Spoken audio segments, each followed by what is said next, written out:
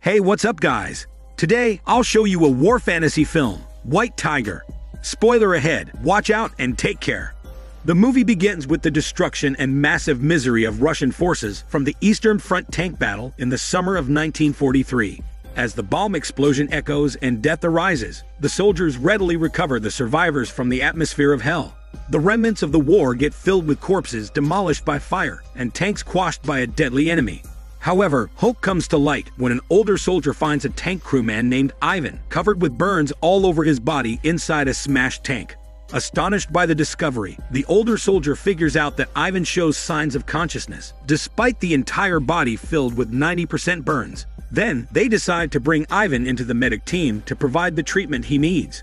The female nurse checks on the pulse and confidently assumes that Ivan will not make it in the next two hours. On the contrary, the male nurse requests an ointment and believes that Ivan's recovery is still possible. Eventually, Ivan showcases signals of speedy healing and has been in the hospital for two weeks. Next, the hospital chief comes to check Ivan's condition and is amazed upon seeing a peculiar restoration in the entire skin after a lethal burn. He then asks Ivan about personal information, but Ivan appears to forget everything about himself. Afterward, the head nurse and the hospital chief share Ivan's details with the senior authority. According to the nurse, the body miraculously heals as the 90% burn scars are not visible from Ivan's body. Additionally, the hospital chief recognizes retrograde amnesia, concluding that Ivan forgot his own personal background, but not his combat and survival skills. At the closure of the meeting, the senior authority insists on bringing Ivan back to the tank divisions, despite the hospital chief's appeal for an exception due to his medical situation. With all the life and death circumstances, Ivan starts his second journey as a mechanic driver in the tank division. Two field officers visit him a moment later, checking his progress and tasks in the tank division. The older officer catches his attention and speaks about how the job is going. Then, Ivan shares what he visions about the ambushed tank. Furthermore, he shares that he can hear a whisper and a voice from any tank by staring, allowing him to identify its past. With such ability, he determines that the second tank gets subdued by the controversial German tank White Tiger, the exact vehicle that burnt him before. Meanwhile, the Major interviews a random German tank member who contains information and connection about the White Tiger. The Major learns that the White Tiger mercilessly fired their Russian tanks, and this type of tank remains a threat and mysterious to everyone. After gathering such news about the harmful White Tiger, the Major decides to attend the meeting with the persons in the higher positions for an effective strategy on the battlefield. They all wonder how their 15 tanks get shattered by a single impenetrable White Tiger. With these dangerous occurrences, the Marshal strictly orders to convert their T 34 tank as their own version to exceed and dominate the White Tiger. Having only two weeks as an allotted time, the commander appoints the Major to be responsible for choosing the best soldiers. Without any delay, Major proceeds to choose and speak to the soldiers who can be part of the mission. Major and the captain first speak with Ivan after knowing his unbelievable redemption from a terrifying encounter. They ask for all the information they need, but Ivan remains clueless about his life and background. An impactful statement stands out when Ivan shares his experience with a mysterious tank, the White Tiger. He remembers how this deadly tank fired them with such accuracy and precision, he also elaborates that he sees it and concludes that the tank is built differently from any other tank, as it is more extensive and robust in terms of its armor. Lastly, he also emphasizes that White Tiger is dead and aims perfectly, showing a mystical ability from the harmful tank. Mesmerized by the story, the Major appoints Ivan as the tank head crew in the newest experimental tank mission to find and defeat the scary White Tiger. Armed with bursting confidence, Ivan starts their mission with his team, the gunner and the loader. Meanwhile, the commander wants to test the skills and the abilities of the three chosen ones by giving the task of destroying the barn in two explosive rounds. Upon hearing the challenge, Ivan immediately proceeds, driving the experimental tank courageously while the loader and gunner compose their strengths in releasing shell explosions. Next, Major shares the map with Ivan about the possible origin and route of the White Tiger. A moment later, Ivan gets closer to a pulverized tank, trying to understand its past strategically. He then figures out the white tiger burned it from one of the directions in the forest. With such hesitations, Major insists that it would be impossible since right behind the forest is a swamp, and any tank will be unable to pass through.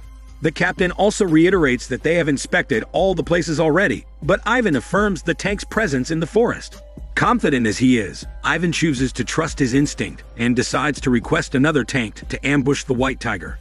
Thus, Major grants Ivan's proposals for another tank, even though the captain expresses his doubts and assumes Ivan's craziness. Time passes, and Ivan and his team prepare every piece of equipment and the tactics they need. Ivan encourages the sergeant to distract the White Tiger with gunfires and maneuvers. They also hide their T-34 tank with grasses, and leads while exposing another tank to deceive the enemy. During their rest time, the gunner and loader eat their food until Major sits with them for a pleasant conversation. After a few seconds, Major approaches Ivan, who seems to wait and observe an enigmatic phenomenon in the combat zone. Afterward, the gunner and the loader sleep, while the Major sneakily stays in another forest area to check the White Tiger. As this happens, Ivan almost sleeps, but immediately opens his eyes as if a great danger is fast approaching. The most awaited moment arrives when an enormous silver tank slowly crosses the peaceful atmosphere of the forest, the White Tiger. Overwhelmed by the scenery, Major tries to follow the dangerous threat secretly, attempting to take a photo with a malfunctioning camera. The dangerous German White Tiger suddenly positions itself in the middle of the forest, firing at the grove and the exposed tank. Armored with perseverance, Ivan and his team release their tank, trying to face the killer White Tiger. They move closer toward it to rightfully aim their explosives at the target, and an exchange of explosions occurs. As they try to roam the forest, the gunner discovers that the white tiger is undetectable, believing that the white tiger retreats. Therefore, the gunner needs to assess the situation by looking outside the tank, and he finds no one. But Ivan appeals that the white tiger never retreated, but positions behind them. When the white tiger properly arrives at a specific position and distance, it mercilessly fires them and leaves them immediately. Luckily, Ivan, the gunner, and the loader remain alive on behalf of the fatal destruction of their tank. Major quickly approaches them, ensuring they are safe, but expresses disappointment as they did not witness the White Tiger being wrecked. The news about the thrilling encounter reaches the persons with higher ranks. The Marshal wonders why there is no recognition of bravery if the experimental tank survives and fires the White Tiger. The commander responds that the encounter has only one witness, the Major, and they have not all seen the White Tiger damaged. The following day, Major and the captain check the edge of the forests and are still clueless about how the white tiger can disappear quickly into the swamp. Moreover, the captain speculates the craziness and weird actions of Ivan. He shares with Major that Ivan might need medical treatment to believe that the god of tanks exists. In a moment, the Major and the captain visit the tank division to look for Ivan. There they see the gunner, who appears to have a forbidden erotic activity in the tank, which is enough for the last warning. They also catch the loader, who's bringing two barrels of alcohol and is being warned as well. Lastly, they look for Ivan, who appears to be staying in another space in the forest. Upon arriving at the given location, the major and the captain witness Ivan kneeling on the ground and praying. Captain wants to stop him, but Major allows Ivan to finish his prayer and listens to his extraordinary visions for any impending danger. Not long after, Ivan begins saying that the White Tiger is just waiting and preparing for immense devastation to all their troops and tanks. He also shares that the god of tanks in the sky is true and has been protecting him from any fatal chaos. Additionally, Ivan even proves that his god sits on a tank, leading to thunder and lightning, and the signals appear in the sky. Lastly, he elaborates that hearing tanks allow him to survive, and the tank wants him to avenge the White Tiger. Listening to the mystical information, Captain completely disagrees, but the Major starts to believe and gets convinced by Ivan's supernatural manifestations about war. Meanwhile, Major and the Captain never stop solving the mystery and still interrogate another German prisoner about their knowledge of the White Tiger. But still, they hear an answer that such a tank never exists. The time has come for the Russian forces to target the White Tiger. They release all their tanks and travel the horizons of the forest, hoping to ruin the mysterious enemy. The Russian forces align their tanks on the edges of the forest, firing their shells to locate the target. When most Russian tanks reach the middle of the forest in a tight formation, the deadliest monstrous tank, the White Tiger, evolves from one corner. The indestructible White Tiger alone showers its shells, erasing each Russian tank and the soldiers' lives inhumanly. The screams and shouts of burning soldiers echo in the air, and the heavy explosions and fires occupy the entire ambience of the forest. In the middle of the hell, the brave soldiers never retreat, but keep releasing their weapons until their last breath. As this happens, the people in higher positions witness the unfortunate encounter, ordering them to go back as some soldiers are dying, burning, and getting toasted already. After several attacks and heavy damage, the White Tiger disappears out of nowhere.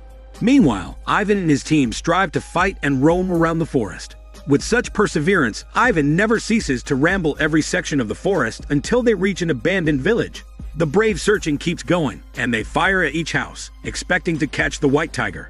A terrifying tension emerges when the white tiger shows up in the opposite corner. Unhesitatingly, they launch their consecutive attacks and target the core of the white tiger. Back-to-back tank shell explosions transpire in the battle, but Ivan's courage prevails. He navigates the tank smartly by hiding in a house to surprise the indestructible enemy at the right time. Additionally, they manage to land in a great position, giving them a wave aimed the White Tiger accurately. As Ivan tries to get closer, their tank gets stuck in the mud, forcing them to attack the White Tiger instead in the given position. Signs of hope remain when they see that the White Tiger suffers damage. However, when Ivan witnesses the White Tiger slowly escaping, he moves out of his tank because their cannon blew up. He fires his gun into the White Tiger, only to realize that it does not have any troops or crew members inside, and it disappears into thin air again. After the significant losses from the said encounter, Major approaches the commander to tell how the White Tiger disappeared again. Major shares that the mysterious White Tiger has no crew inside it. He even shares his belief in Ivan's declarations and visions before the exhilarating fight. Unfortunately, the commander treats all the unusual details as a fruit of foolishness and offers the major a 10-day leave from any obligations. Consequently, the German delegation signs the unconditional surrender agreement. All the persons and the media witness the event, which signifies an end to the battle. The time has come for the soldiers to be released from military obligation. For a closure conversation, Major decides to see Ivan and tells him the moment has come for the battle and war to end. However, Ivan surprisingly explains that the struggle has never ended yet. He elucidates that the enemy White Tiger temporarily rests and will eventually appear again as a future danger. When Major is about to leave, he gets mesmerized after seeing no one in the field. It can be surmised that Ivan and the enigmatic White Tiger seem to be representations and products of human war, and will be a never-ending cycle of humanity. The movie ends with Adolf Hitler sharing his sentiments about the outcomes of the war in a discourse. He enunciates that everyone will blame Germany and treat them as a scapegoat for the future. He also justifies that the demolition imposed on Jews in Russia was once part of a European dream. Lastly, Hitler concludes that humankind is the product of the struggle, and that war will always be the form of the human state, just like the mysterious war machine, the White Tiger. This is Daniel CC Movie Channel. Stay safe and enjoy your day.